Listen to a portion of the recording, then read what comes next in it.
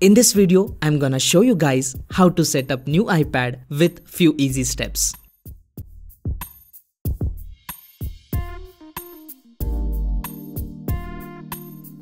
Hello friends, I just bought this new iPad mini 5 and I thought I should show you guys how to set up a new iPad.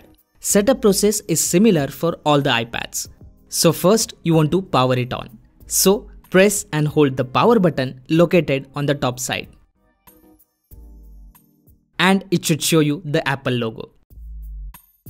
Now when it shows hello message, you want to press the home button in case you have one or swipe up to get started.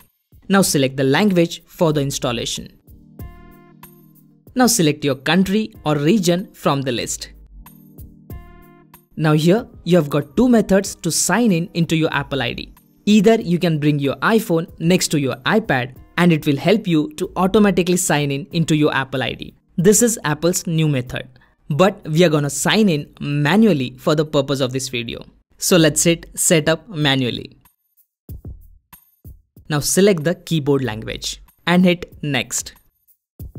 Now choose your Wi-Fi network. If you don't have access to your Wi-Fi, you can still use iTunes and set up your iPad. But we have got the Wi-Fi available, so we will select it and enter password for the Wi-Fi network and hit join. Now we are connected to a Wi-Fi network. Let's hit next. Now hit continue.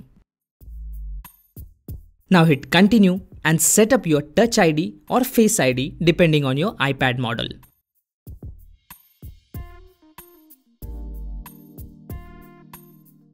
Once the setup is completed, hit continue.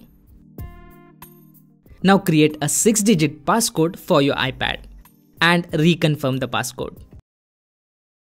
Now here is the screen which is very important. Here you can use iCloud backup, iTunes backup data from Android phone to set up your iPad.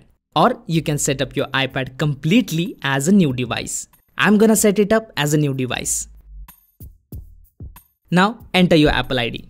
I'm gonna use the same Apple ID used on my iPhone. Now hit next. Enter passcode for your Apple ID and hit next again. Now agree to the terms. Now here you can hit continue to use express settings and everything will be set up automatically. But I would suggest to customize settings manually. So let's do it. Here I'll choose to install iOS updates manually. I'll enable location services. You can set up Siri during this setup itself, but I'll choose to set it up later in settings. Same for the screen time feature. You can set it up if you want, but I'll choose to set it up later in settings. Now I don't want to share iPad analytics with Apple, so I'll choose don't share.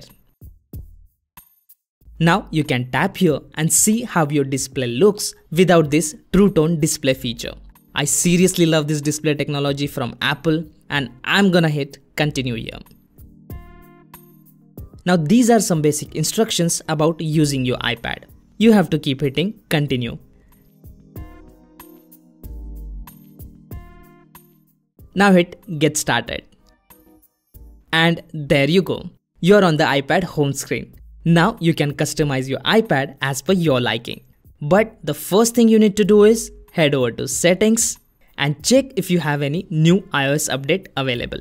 If yes, install them and this completes the setup of a new iPad.